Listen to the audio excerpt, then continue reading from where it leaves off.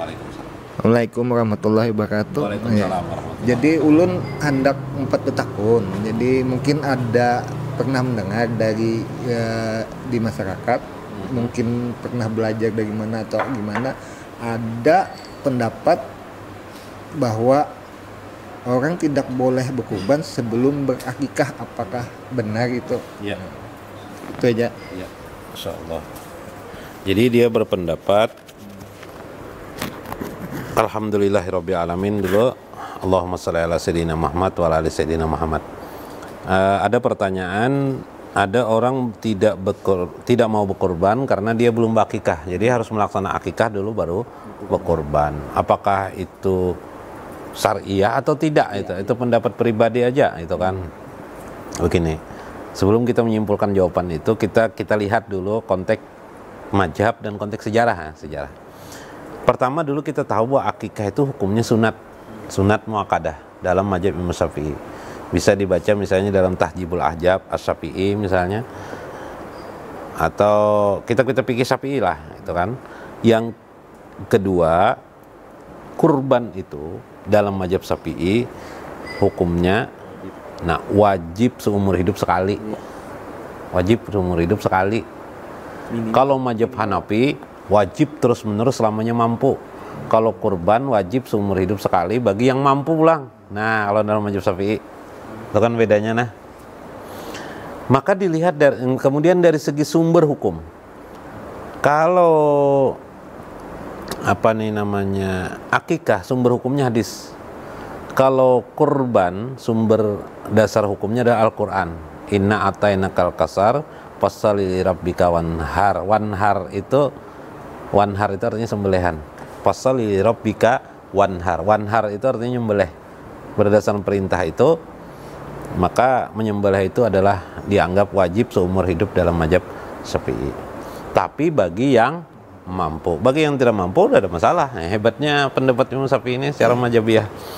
Lalu ada orang berpendapat saya tidak mau berakikah kecuali eh, saya, tidak mau berkurban kecuali dengan akikah. Alasan apa? Nah, tapi tidak ada alasannya, gitu kan? Nah, bagaimana mungkin dia melaksanakan dalam majab Syafi'i? Karena dalam majab Syafi'i berakikah itu dari orang tua kepada dirinya sendiri.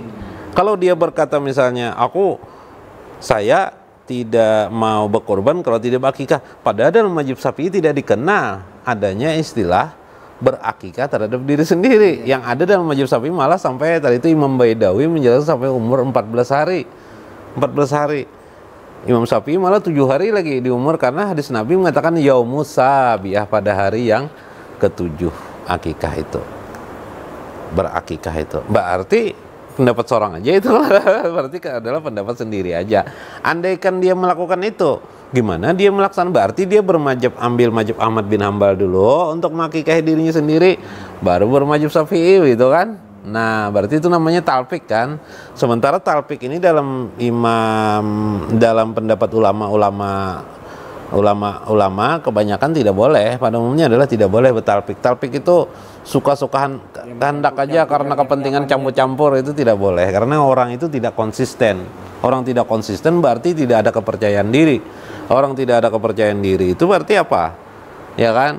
Ngapain dia ber, anu, melaksanakan sebuah sistem?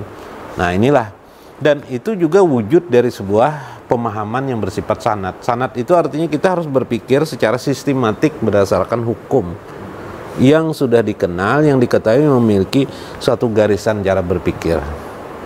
Karena dalam majab sapi itu memiliki uh, analis uh, apa analytical jurisprudence kalau istilah sekarang. Berpikirnya luar biasa secara berdasarkan Quran, hadis, kemudian kiasnya bagaimana, ada kejelasan sistem-sistem dasarnya atau dasar dalil-dalilnya tadi itu. Kira-kira itu. Jadi jawabannya apa tadi?